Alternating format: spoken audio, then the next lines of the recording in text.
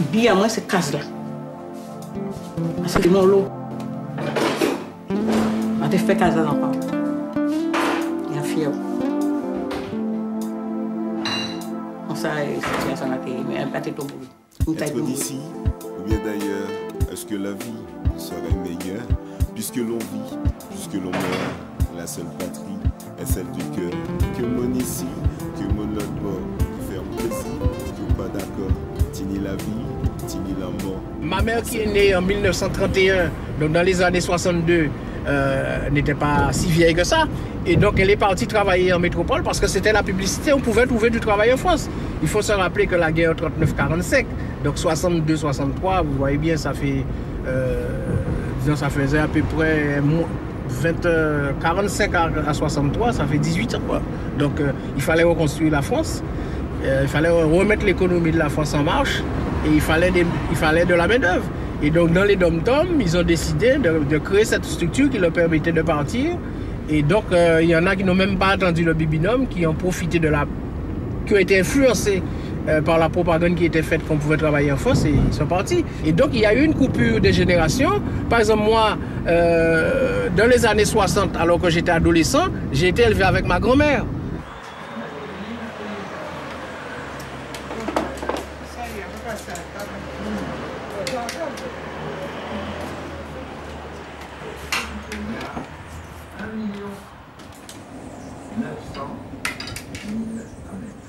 On a l'impression que nous était content si nous pas parti en France.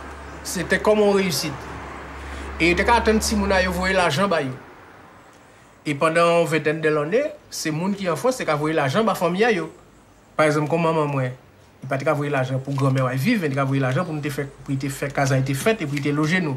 Quand d'autres gens ont envoyé l'argent à maman yo.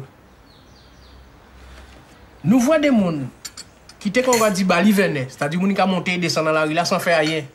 Famille a yo conseillé yo partir en France, ou bien partir en France par bibidom. Donc ils pas reçu dans les salons. Mais là, ils resté 5 ans, 10 ans en France, retourné. Côté, ils pas rentrer en salon à moun.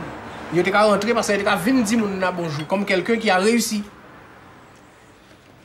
Avec euh, tout le travail fait dans l'éducation nationale pour nous faire comprendre que nous sommes français. Si, si nous parlons français, si nous avons le bac, si nous sommes médecins, si nous sommes ceci ou cela, c'est parce que c'est grâce à la France. Et qu'on nous a appris à apprécier la France et à rejeter tout ce qui n'était pas, pas de la France, donc tout ce qui est nôtre. Donc on a d'abord appris à aimer la France, à chanter la Marseillaise, etc., etc., etc. On a beaucoup mis en valeur les anciens combattants euh, pour bien nous montrer euh, que c'est nous qui avons besoin de la France, c'est grâce à la France si nous sommes ce que nous sommes. Et donc à partir de ça, on n'avait même plus besoin de forcer les gens, de mettre quoi que ce soit en place pour que les gens aillent en France, puisque le travail était déjà fait dans la tête.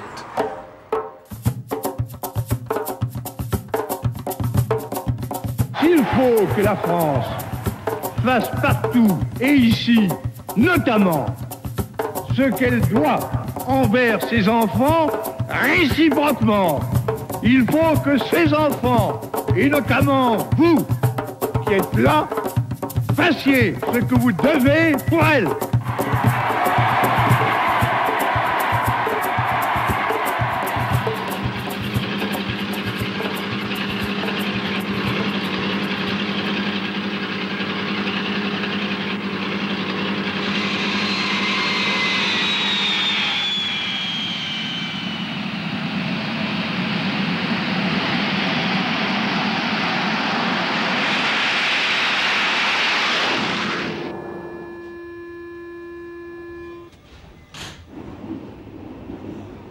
On est parti le, 3, on est arrivé le 4 euh, mars 1965. On a voyagé à 50. Et l'arrivée à Paris, euh, il y avait des gens qui nous ont dirigés dans le car pour prendre un car, pour prendre un train et puis pour aller sur Couilly. Lorsque le train vous déposait, euh, c'était vraiment, vous vous voyez absolument rien. C'était vraiment, c'était lugubre dans ce dans ce sens parce que vous voyez absolument aucun repère. vous étiez posé là, bon. On se dit, bon, ben, ils sont pas fous. Ils nous, s'ils nous ont mis là, ils vont s'occuper de nous. Bon, mais c'est que des suppositions, hein. Bon.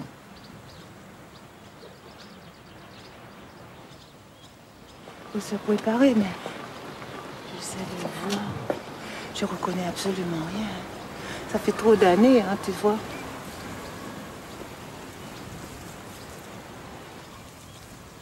La France va vous trouver du travail. C'est ce qu'avait promis le Buminum. C'est ce qu'il s'ingéniera à faire en créant à destination des Antillais fraîchement débarqués quatre centres d'adaptation et de formation professionnelle.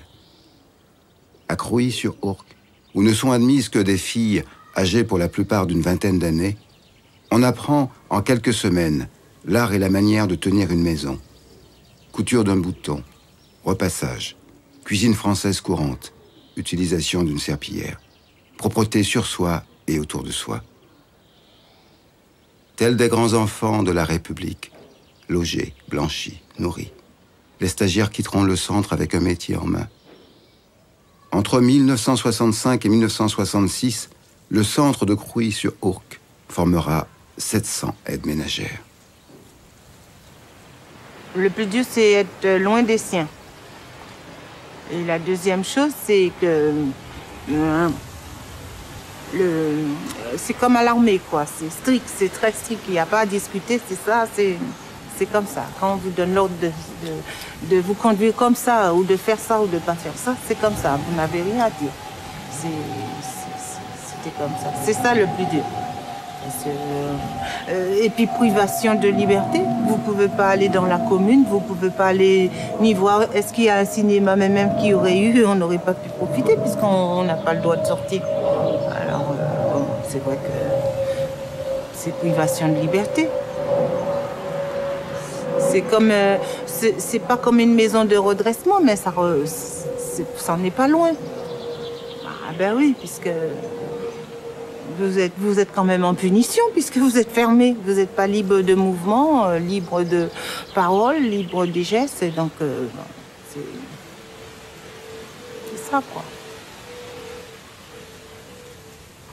Maintenant, avec le recul, je prends conscience que c'était dur. Mais euh, sur le coup, euh, je me disais, je suis en bonne santé, je vais avoir une formation, je vais pouvoir travailler, me prendre en charge. Et bien, où est le problème? Ben voilà, c'est comme ça que je voyais ça. hein. Enfin, c'est ce que la France nous a voulu, faire pour nous, quoi. Eh ben. La France vous a trouvé du travail. Mécanicien, tourneur soudeur, ouvrier en bâtiment. La France vous a trouvé. Tandis que les paroles l'État tournent en boucle, des clichés d'antillais modèles se révèlent. Antillais comme brave, docile, malléable. Antillais comme sage, consciencieux. Antillais français, et c'est tant mieux. L'Algérie libérée, la France a besoin d'une main-d'œuvre nationale de Français foncés, mais invisibles, et qui s'intègrent, et qui se taisent, mais qui restent. Ah, dans le jardin, un soir, rencontré en belle rose. Et lui dis-moi des paroles douces, aimer. Mais à présent, moi, pas comprendre qu'elle a dit quand même. Et moi, pas jamais revenir en jardin là. Belle rose, c'est eux qui connaissent peine en moins. C'est eux qui connaissent cœur en moins. Ou que bon moins parfait à vous. Belle rose, le souvenir d'un soir. La la la la la la la la la la. Belle rose de la Guadeloupe.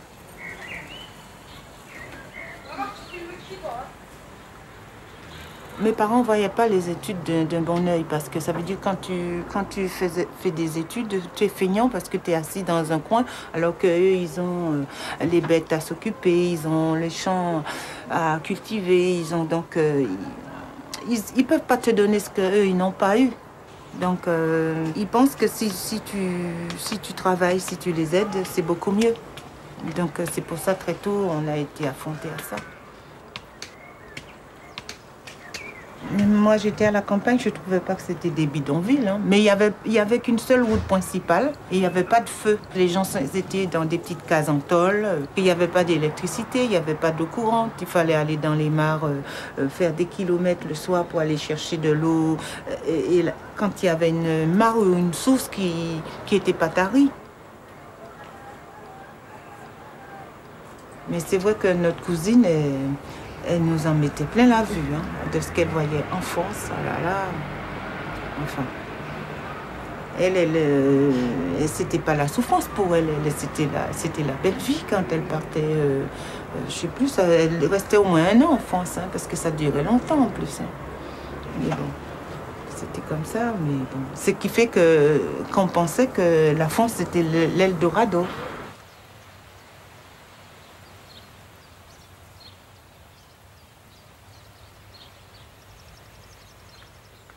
Bah oui, je les ai vus.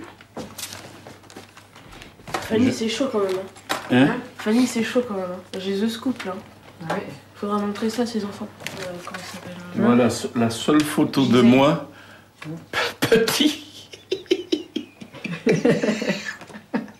Bah, t'étais mignon.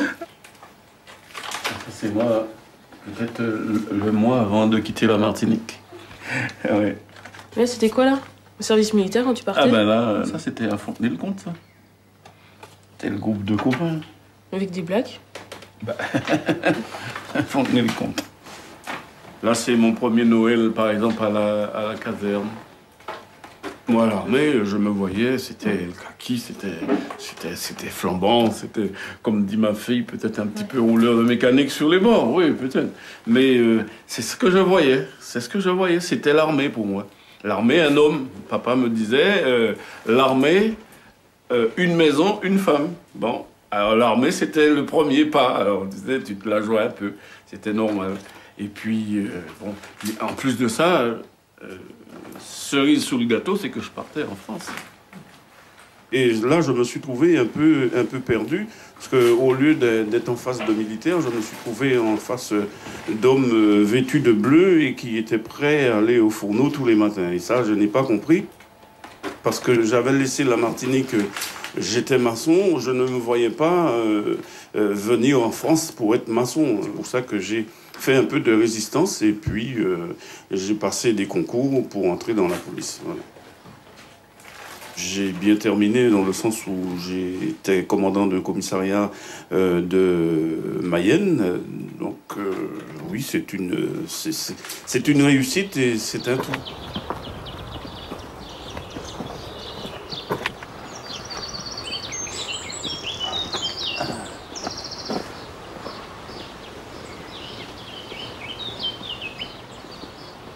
Rigolo. Hop, hop.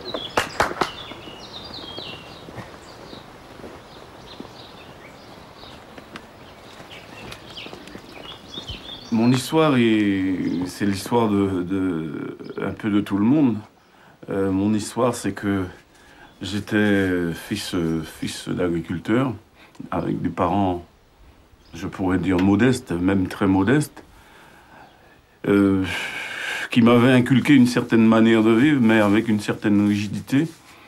C'était un monde de travail. C'était un monde où on n'avait déjà pas droit à l'erreur parce que pour mes parents, ils avaient pas loupé leur vie, mais ils savaient que la vie était très très très dure et ils nous le disaient, ils me le disaient, mon père surtout me disait mon gars, tu verras que la vie elle est très dure. Au jour d'aujourd'hui, vous êtes là. Mon seul vœu, ce serait que vous accédiez le plus rapidement possible à une hiérarchie sociale pour sortir de cette, euh, de cette euh, rudesse de vie que le nègre connaît. C'est vrai que maintenant, en parlant avec du recul, en parlant de ça, peut-être que les gens ne comprennent pas, mais il faut qu'ils se mettent à notre place. Il faut voir Grande Savane, comment que c'était. Savane, c'était une bourgade, c'était de la canne à sucre. On part, on, on était content de partir, et puis on découvre un beau jour, euh, nous voilà euh, dans le grand monde, et il faut comprendre. Je ne pouvais même pas expliquer ça à mes parents, je pouvais même pas lui expliquer quand je suis arrivé. C'était monnaie courante à la campagne de dire Ah, mais un petit bout moyen qui est parti l'autre pays, euh, Euh, bon, ben, qui côté Ah ben, l'autre pays, il a, il pris un bateau, il a jambé de l'eau. Bon, donc, euh, c'est ça. Il a, il a, il a trouvé, ça, il peut trouver là-bas. Bon, et puis l'autre pays, mais pour nous, il n'y avait qu'un autre pays. Pour moi, il n'y avait qu'un autre pays. C'est pour ça que quand je suis arrivé ici, on me parlait de, de, de- de- des Maghrébins, des, des- Algériens, des Marocains. Euh, Je ne comprenais pas. C'était confus dans ma tête parce que pour moi, il n'y avait qu'un un seul grand pays. Et c'est pour ça que j'attendais tout de ce grand pays. Parce que je croyais que ce grand pays renfermait tout un autre monde et que nous, nous étions à part. Ma couleur noire, j'en ai pris conscience qu'au fur et à mesure où j'avançais dans le temps. C'est là que j'ai pris conscience que j'étais noir. Quand je suis arrivé en métropole, j'étais pas noir. J'étais pas noir, j'étais un être humain, j'étais un individu qui était venu pour, pour chercher ce que la France lui avait réservé. Et j'étais prêt à le chercher. Seulement, euh, au fur et à mesure, on disait, ben, tu vas peut-être le trouver, ce que tu es venu chercher. Mais il va falloir que tu saches qu'il y en a d'autres qui passeront avant toi. Et c'est ça qui est, qui est dur.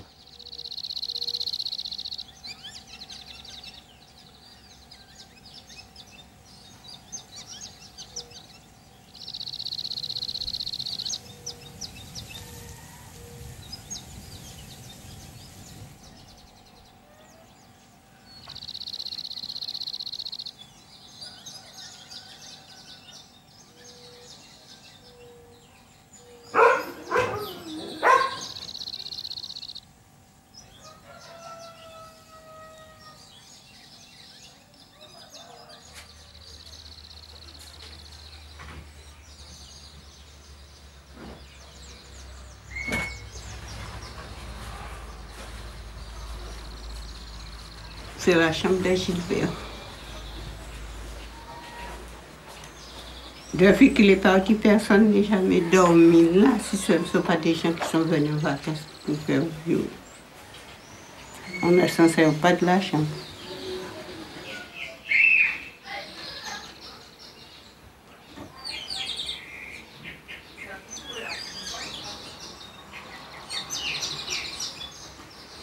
Gilbert est parti, Gisèle est partie, Angélique est partie, Lucie est partie.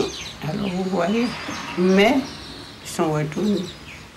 Parce qu'après un certain temps, Lucie est retournée, Angélique est partie, voilà, elle est retournée à présent. Gisèle était partie. Elle est retournée, elle est déjà retournée il y a longtemps. Elle a sa maison dans le fond là.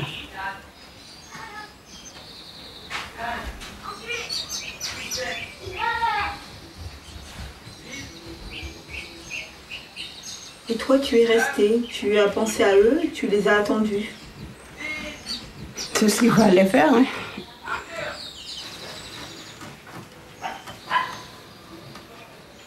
Quand Gilbert est parti le jour même, après le taxi est arrivé à la maison, Oui. qu'est-ce que tu as pensé?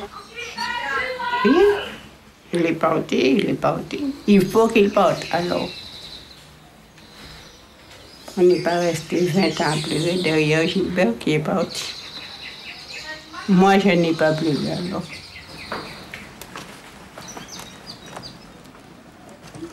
Oui, si on a ton visage, cher madame. C'est moi, c'est gardien. Nous beau garçon. Si, si, ça va aller. Hein? Quoi?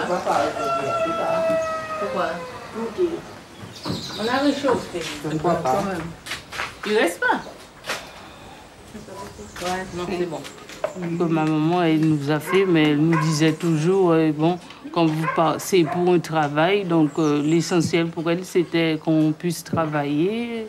Et enfin, de partir, ça ne m'a pas détaché d'elle. Moi, par exemple, je n'écrivais pas, j'aime pas écrire, mais j'appelais euh, chaque semaine, euh, chaque semaine, chaque dimanche matin, je l'appelais.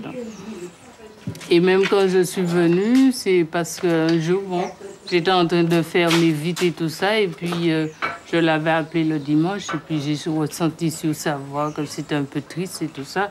Et puis je disais, ah, si seulement le bon Dieu pouvait nous faire partir, soit moi ou Angélique, euh, une de nous, euh, pour y aller. Et puis, évidemment, peut-être que ça s'est... Et puis trois mois après, voilà que je suis mutée, donc je pense que c'est un peu de ça. Lucie, bonne fête, maman. Merci pareillement.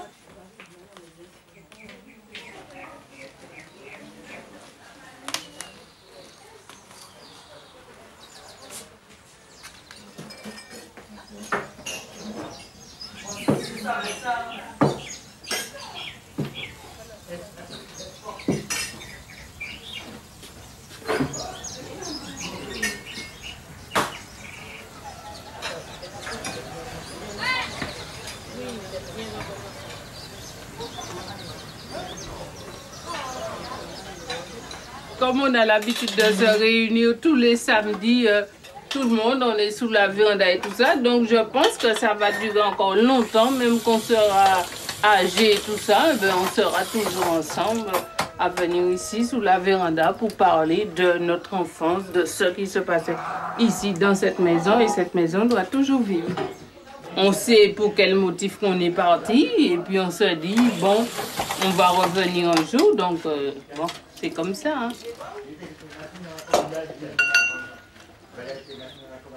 Et ça se passe tranquillement quand, on a l'espoir de revenir un jour. Et puis même si on n'a pas l'espoir, on se dit, bon, eh bien, à la retraite, on viendra. Définitivement. Puisqu'il y en a ceux qui n'aiment pas soi-disant, et puis qui tout compte fait, même après la retraite, qui restent. hein. En disant, en parlant de Gilbert. S'il est parti, s'il n'aimait pas, je sais pas moi. Non, parce que Gilbert puis- aussi, il a acheté là-bas, il a construit là-bas. Eh ben voilà, eh ben, eh ben. euh, Mais si on avait vraiment un objectif, on se serait dit non, je vais pas me marier avec. euh, Bon, pour pouvoir rester, on veut revenir.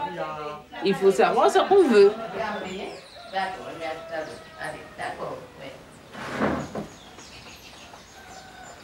Popo, le téléphone, c'est Gilbert. Mais non, ça compte tout le temps qu'il faut, Popo.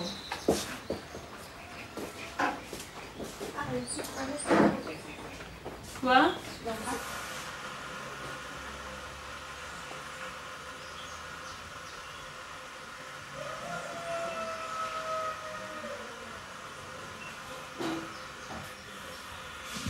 D'accord.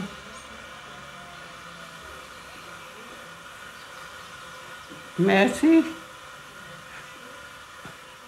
Ouais. Diane, bonne, Diane, bonne fête des mères.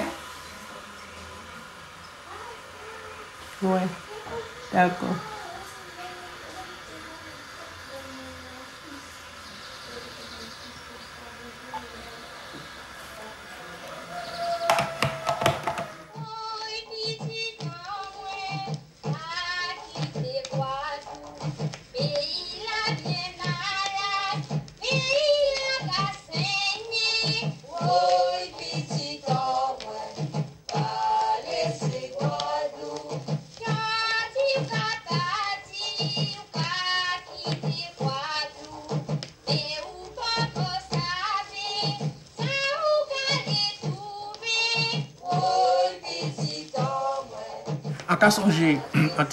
C'était en 1968, en temps troisième, et il était sorti faire l'idée de l'école technique, lycée technique entre en jeu, mais pour moun pas te vle voyer ti moun au lycée technique, parce qu'à l'époque en Guadeloupe, il était voyer moun pas te réussi l'école, moun te ka faire 8 de moyenne, il était voyer au lycée technique, alors en réalité c'était l'inverse pour te faire. Donc, le travail de la main pas ni valait. Oh, là, on peut regarder en commune comme Bouillette, par exemple, il y a le charpentier qui fait des cases très solides. Ces cases-là debout toujours. Et c'était des, vraiment des artistes. Et on pas trouver charpentier comme ça encore ici. Mais en même temps, il va reconnaître que c'était des cases solides. Mais en même temps, il va pas fait ça. Donc, c'était un fait travail fonctionnaire. Il faut dire aussi, les bibis d'hommes fait. Euh, il y a des gens en tonne, en pas lire ça, mais en tonne considéré, quoi dire, ouais, tu vas voir mon travail, tu vas faire mon passer concours à la poste, mettez dans quota pour monter à travailler la poste, pour monter fonctionnaire, pour voir que la France a fait réussir. Il travaille au travail aussi dans les hôpitaux de Paris, et filles de salle. Mais à l'époque, tu as touché l'argent par rapport à mon ici. Donc c'était un genre de promotion. Et mon était content parce qu'il va travailler. Pas vrai? Et, donc par rapport au discours que mon était ici, parce que grand-mère, moi, là, il fait en 1903. Donc, il vrai grand-mère qui était esclave. Et donc, lui, il a songé à par rapport à ça qu'il dit, puisque nous sommes dans un pays de l'oralité. Donc, c'est raconter, raconter. Donc, il pas voulu moins faire même bité là. Même si tu amené moi le jeudi ou le mercredi, et les patins de l'école, il fait jardin, parce que estime que le jardin là sont un lieu de survie. Là, sont lieu qui y avait la nature aussi, qui même spirituel. Donc ça c'était très important, mais il n'y a pas vraiment de agriculteur pour autant. Tourner dos à la terre, s'échapper. Râler jusqu'à se fondre dans la masse. N'être plus vraiment soi, mais quelqu'un. Un arrivé, intégré à la fonction publique. Douanier, postier, fille de salle, policier. Dans les années 60-70, l'antillais job, mais stagne, occupe le plus souvent des postes de catégorie C. De l'autre côté des eaux, au pays du cahier natal, on fait des vœux de scie et des rêves d'indépendance. Et si plus rien ne commandait aux Antillais d'aller en France, si les îles se développaient pour de bon.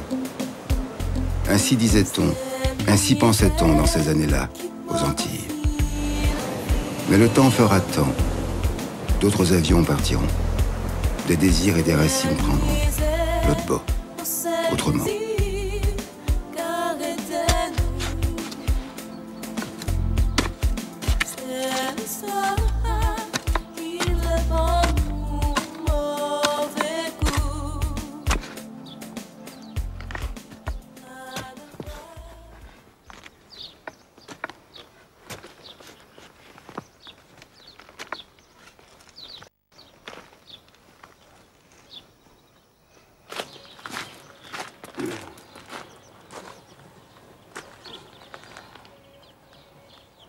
J'ai reconstruit ma vie ici. C'est ici ma vie, c'est pas ailleurs, c'est ici. Quand je rentre ici, j'ai tout. J'ai tout, j'ai tout. J'ai ma famille, j'ai mes bêtes, j'ai mon jardin, j'ai les fruits, j'ai tout. J'ai tout. Je, je, ne dis pas que j'ai besoin de rien, mais quand j'entends euh, ou quand je j'entends des paroles qui n'ont aucun sens, quand j'ai été agressé ou agressé le mot entre guillemets, par des paroles, par des attitudes. Mais je rentre là, c'est fini, moi, je suis guéri, je suis comme la mangouste. Hein. Je me lèche dans mon jardin et c'est fini, je n'ai plus, je ne souffre plus. Une fois arrivé ici, c'est mon havre de paix. Ici, je, je dis, c'est mon grande savane à moi. À partir de là, euh, je peux lutter contre beaucoup de choses maintenant. Quand je suis ici, je suis blindé.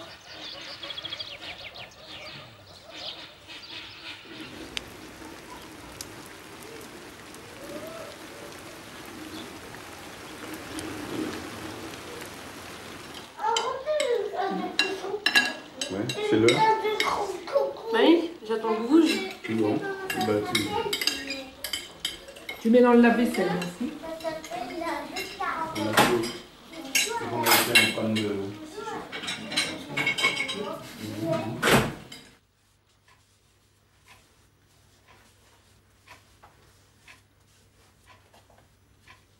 Quand on me dit ouais t'es black et tout, je dis plus ouais black que fils d'immigré. Voilà parce qu'après c'est une histoire, c'est l'histoire de mon papa, c'est pas forcément la mienne. Euh, j'ai pas envie d'à chaque fois qu'on me dise oui t'es euh, je veux pas dire à chaque fois oui je suis fille d'immigré parce que mon papa il a fait ci, parce que mon papa il était comme ça, qu'il est parti, il était jeune à la Martinique et tout. Voilà, c'est son histoire. Euh, il vit avec, on vit avec et on la connaît. Mais ça s'arrête là. Moi je vais pas aller raconter euh, toute l'histoire de mes ancêtres euh, et jusqu'à mon papa. Voilà, c'est quelque chose qui, qui est dans la famille.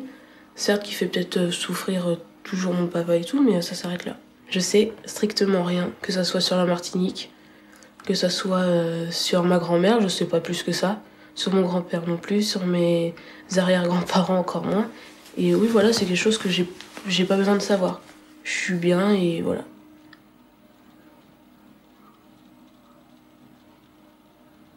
En fait, ce qui nous différencie avec papa, c'est que papa, il a montré pendant toute sa vie que c'était un noir. Toute sa vie, il a voulu montrer et il est fier de le dire. Ça veut pas dire que je suis pas fière d'être euh, d'être euh, d'être basané, euh, rien à voir, ça me dérange pas du tout. Je vis avec et euh, je trouve ça génial justement. Mais je me sens blanche, ça vient dès l'éducation, je pense. j'ai vécu, ma maman elle est blanche donc déjà, j'ai vécu en France. J'ai vécu, on va dire, c'est peut-être triste à dire, mais qu'avec des blanches. J'ai été dans une école blanche. j'ai été, j'ai appris avec des idées blanches. Et euh, le fait, même, je crois, le fait de ne pas habiter en Martinique fait que je me sens certes plus blanche que, que, que basanée. Et je trouve ça aussi euh, dommage que par rapport à mon père, je suis pas aussi. euh, comme il dit, il est noir et fier de l'être et il se battra pour ça. Et pour moi, je me sens blanche. C'est c'est con à dire, mais je me sens blanche avant tout.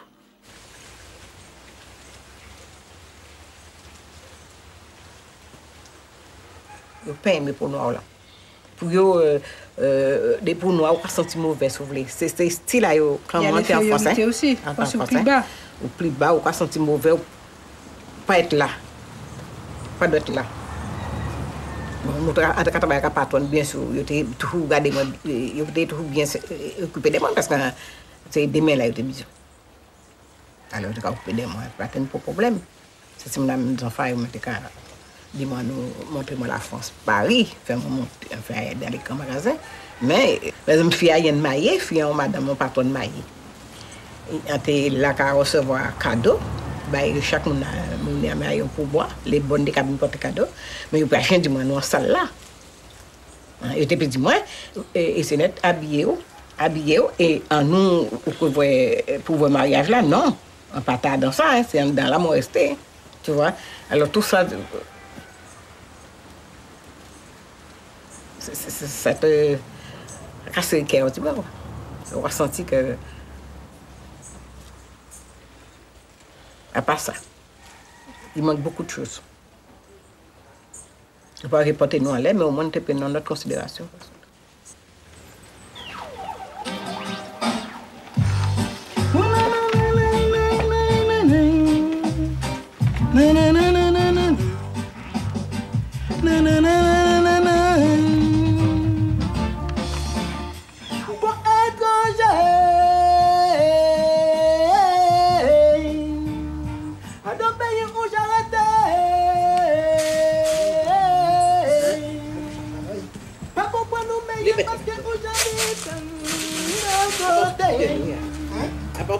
Mais côté, moi, et puis, d'autres mentalités.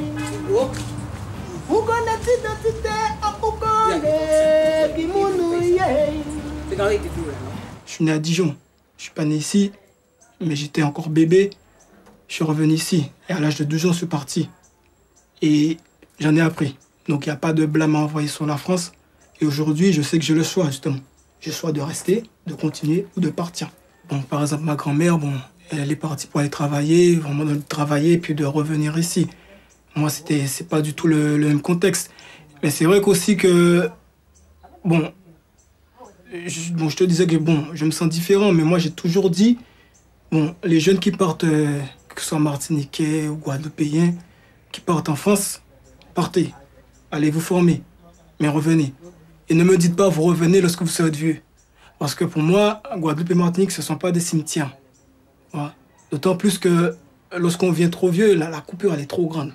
Déjà, moi je vois, je, suis- je suis jeune, je sens une coupure, mais t'imagines, tu restes euh, 50 ans et puis tu reviens, non, la coupure va être trop large. Justement, les aînés, qu'est-ce qu'ils ont fait? Ils sont partis, ils, ils sont venus. Ils ont été se former, ils sont venus. Et il y en a beaucoup qui sont restés là-bas, pourquoi? Parce qu'ils n'ont pas eu de mutation.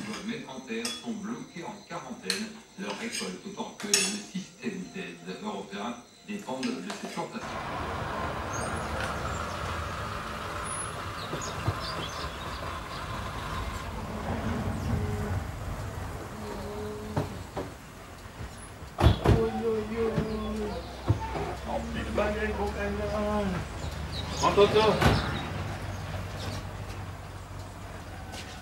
On fait popo.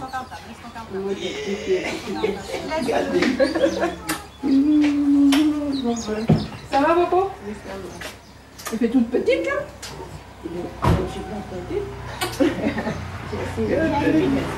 Parfait. Mmh, Ça va, ça va. Malheureux, pas sûr. Voilà.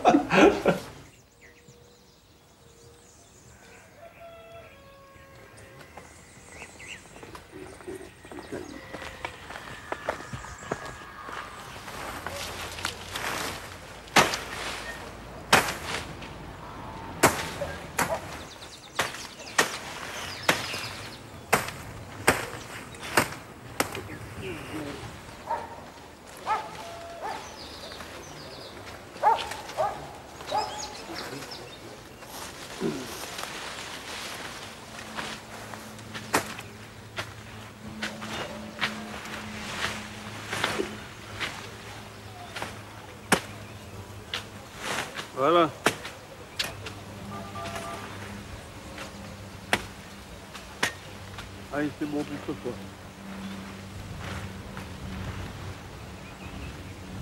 C'est l'heure de l'apéro.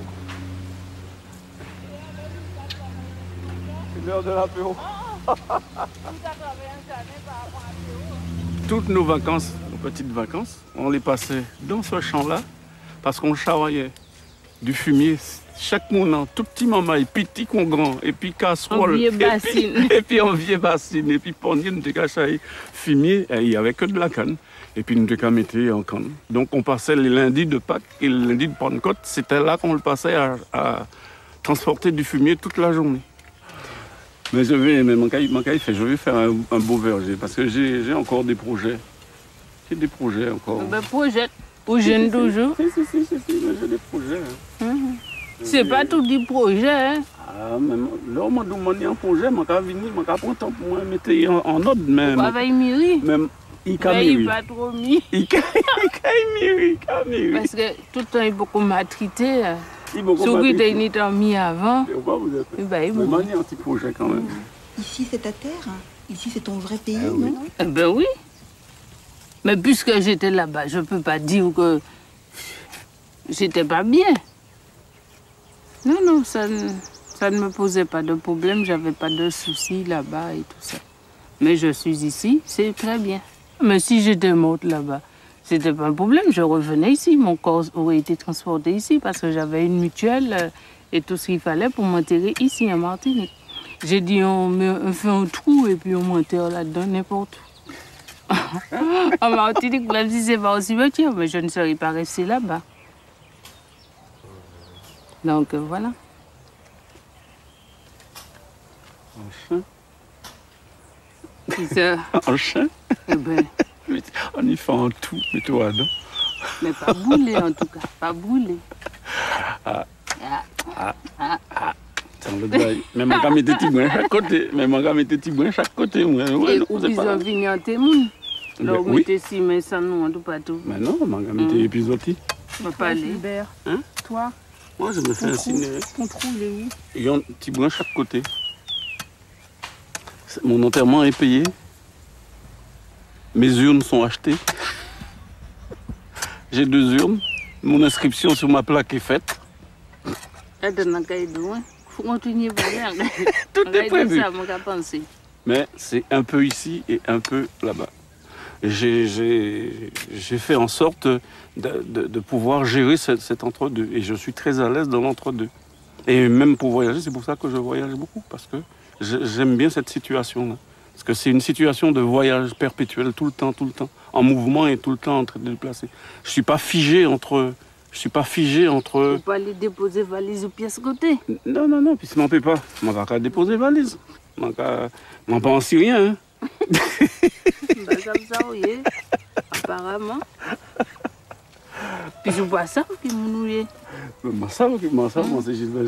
Ah, mais- c'est tout. Mais, mais, mais, mais, Gilbert ou pas, ça. Ah,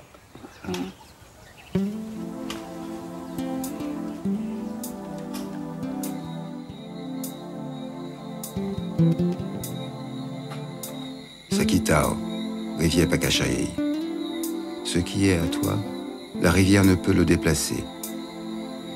Si cette parole antillaise dit vrai, comment alors comprendre sa migration?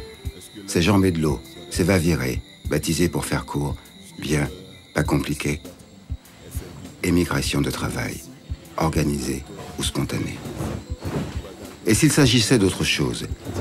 Et si, au-delà des blesses et des petits bonheurs particuliers, se cachaient les gros mots? Aliénation, saignée, déculturation Tandis que s'esquissent les contours d'une troisième île, il y aurait aujourd'hui presque autant d'Antillais Bocaille qu'en métropole. Ces mots font sens, reposent question, celle du devenir des Antilles. Pays a changé. Les bonnes gens parlent de mobilité. Soit.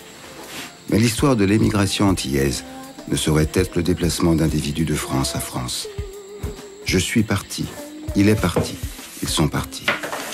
Il y a dans ces lignes de vie brisée une trace commune, une orientation donnée, la voie France, celle qui traite, gère, déplace. Comme toujours, comme avant. Épinant, inanant.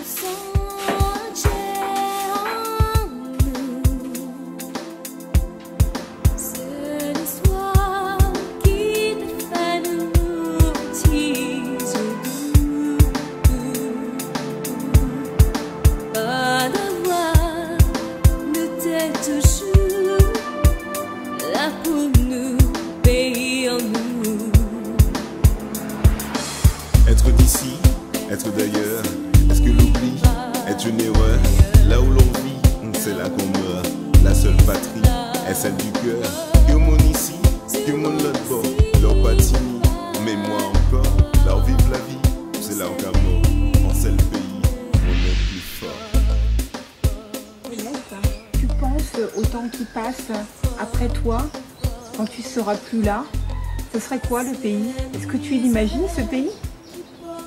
Comme je ne suis pas là, je ne saurais pas. Peut-être qu'on va nous échanger avec un autre, personnage. Mais non, tu sais pas que les Blancs ont tout acheté ici. Ils ont acheté la terre. hein. Si je veux vendre ma maison pour ils l'achètent. hein. Mais comme je ne vais pas vendre, je ne sais pas si à un moment donné on ne peut pas prendre la terre et puis nous envoyer ailleurs. Je ne sais pas. hein. On ne sait pas ce qu'on va faire. Mais moi, comme j'ai déjà 80 ans, alors on va m'emmener à Dicos